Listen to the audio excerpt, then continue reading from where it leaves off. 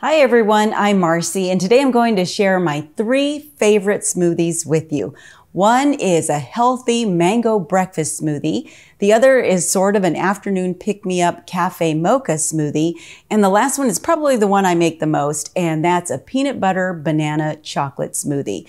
So if you're looking to uh, find a meal replacement, or maybe you just want something sweet that's still healthy, hit that subscribe button and let me share three great options with you.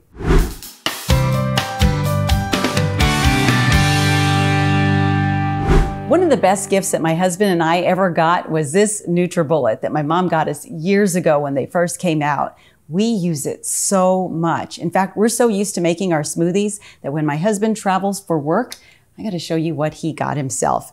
A mini magic bullet. This way he can pack it in his suitcase and still make smoothies in his hotel room. We make quite a variety of smoothies. These are just my top three. For the healthy mango breakfast smoothie, I start with one cup of frozen mango chunks. Of course, you can use a fresh mango, but be sure to add at least half a cup of crushed ice if you do.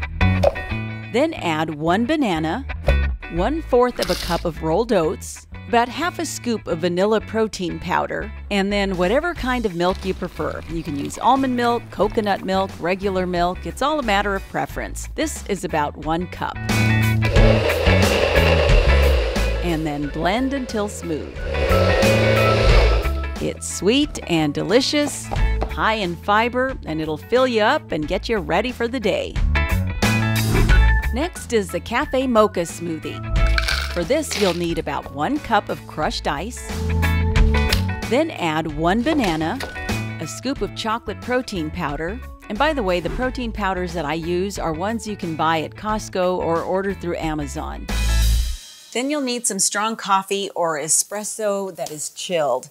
And a lot of times what my husband and I do when we brew coffee in the morning is we'll make extra and then we put the leftover in the refrigerator. And that way in the afternoon, if we need a pick-me-up, we'll make one of these smoothies. I'm gonna put in about a cup.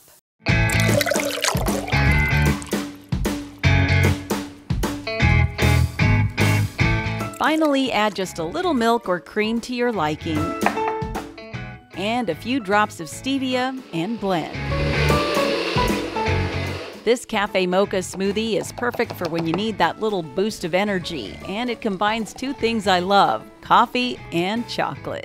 Last is probably my go to smoothie, and that's a peanut butter banana chocolate smoothie. Start with one cup of crushed ice, add in one banana, about three tablespoons of peanut butter, a scoop of chocolate protein powder, and a cup of the milk of your choice. Then blend until smooth. When I have a sweet tooth, this peanut butter banana chocolate smoothie is fantastic and satisfies all my cravings. And there you have it, my three favorite smoothies. All of them easy to make and so delicious. I really hope you try it. Now I just have to decide which one I'm having now. Thanks so much for checking out this video.